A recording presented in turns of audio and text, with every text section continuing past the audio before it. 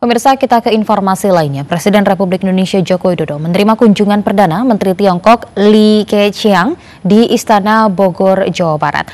Dalam sesi pertemuan bilateral, kedua kepala negara membahas kerjasama peningkatan ekonomi dan investasi antar kedua negara.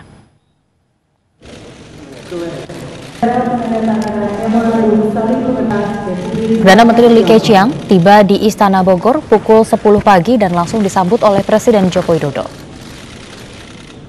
Usai penyambutan dengan proses upacara kenegaraan, keduanya kemudian melakukan perbincangan singkat di veranda talk dan melanjutkan dengan pertemuan bilateral didampingi delegasi kedua negara. Kedua kepala negara akan membincangkan berbagai hal dan perjanjian kerjasama seperti perdagangan dan investasi, serta membahas sejumlah isu terkini terkait kawasan regional dan global.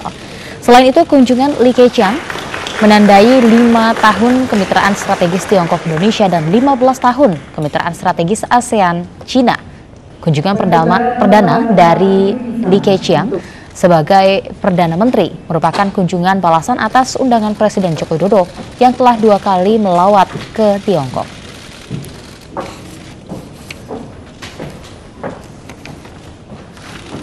Merupakan suatu kehormatan bagi saya menerima kunjungan pertama yang mulia Perdana Menteri RRT Li Keqiang.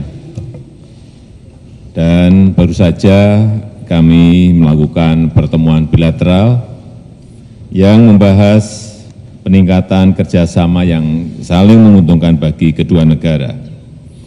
Sebagai dua negara besar, saya juga sampaikan bahwa kemitraan Indonesia dan RRT harus dapat memberikan manfaat bagi perdamaian, bagi stabilitas, dan bagi kesejahteraan dunia yang didasarkan pada penghormatan kepada hukum dan norma-norma internasional.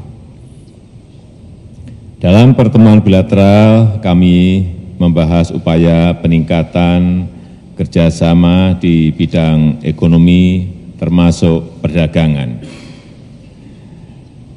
Sebagai negara dengan penduduk 1,37 miliar, RRT merupakan pasar yang besar sekali bagi komoditas dan produk-produk Indonesia.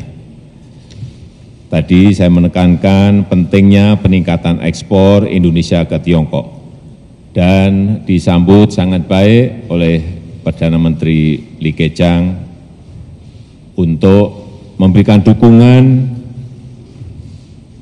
bagi masuknya lebih banyak lagi produk kelapa sawit, sarang burung walet, kopi, kakao, dan buah-buahan dari Indonesia seperti manggis, buah naga, dan salak.